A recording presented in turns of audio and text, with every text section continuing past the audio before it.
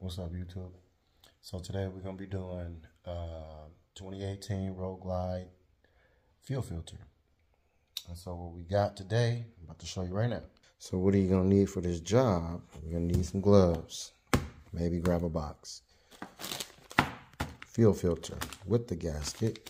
Part number is 61011-04A. And it's a little boy. It's pretty small. My bike is at 24,000 miles right now. So I'm going to just change mines now. Now that my bike is not is down right now, it's a few things I'm trying to do to my bike. So I don't have a puncher. I can find one, but I'm just going to use this because with this, it it's pretty thick. Don't have needle noses. I'm pretty sure this will kink it out. And I'll get to that in a second with you guys to show you how this works. But we got tape. We need tape and Windex. So gloves, filter, some type of punch or something to knock the frame loose at least. And um, something to take it out with, some tape.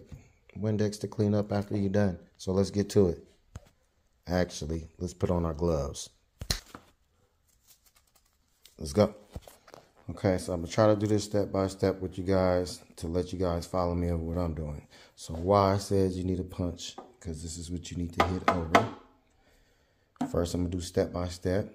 We're gonna disconnect this right here.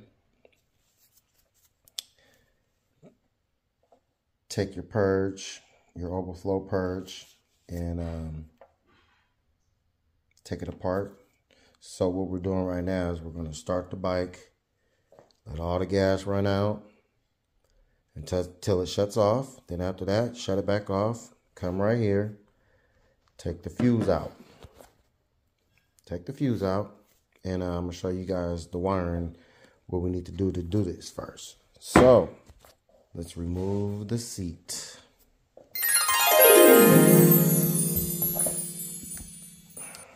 Okay, so the wire that I'm talking about, you want to disconnect this before you take the fuse out.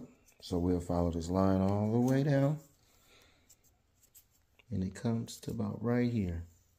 And this is what we need to disconnect. So I'm going to do that for you guys real quick. Okay, so we got it disconnected. What I'm going to do now is open up my garage door. I have to put my cats up and so they won't run out. But let's open this garage door.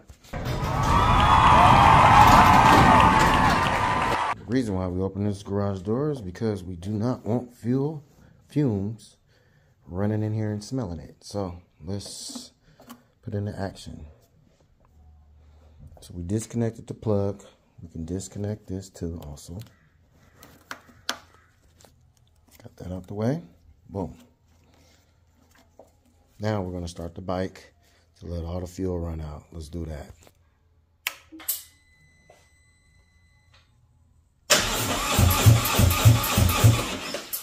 Okay, so we're back to business. What I did is um, I unplugged this little purge right here, took that apart, left that there. And then also we can move this out the way. And we could take this off now too. Let's do that. Okay. Out of our way. These two is out of our way. Let's do that unconnected. Everything is unconnected. So now what we're ready to do is go ahead and open this up. Let's do that.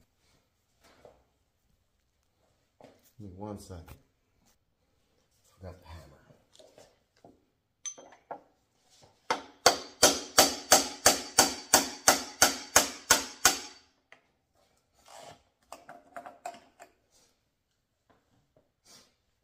Oh, I made this for my bike. If You guys can see that. I put a little magnet on there my own. So I have the gas, uh, my bike could just stay there.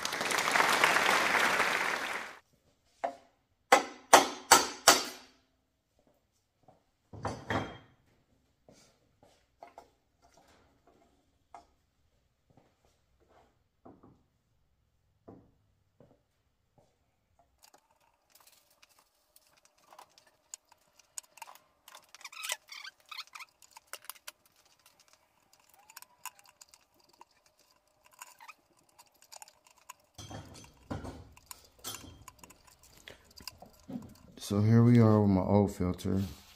This is the new filter. My bike got about 24,000 miles on it. And I just thought it was a good time just to do it. And it doesn't look all that bad, but I say it's dirty though. So you guys can see that yourself. So let's put the new one in. And we'll be done. Here we go.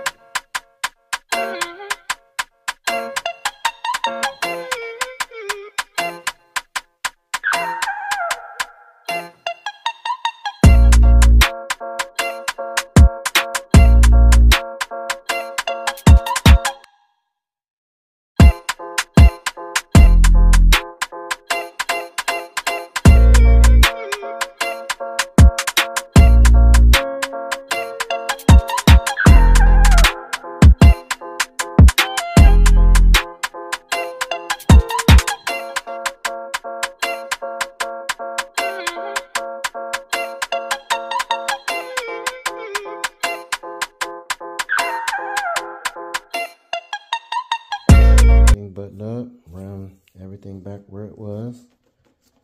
Um, my other little purge. But I'm good to go. All right, let's start it up. Remember one thing, let's open this garage. Don't smell fumes.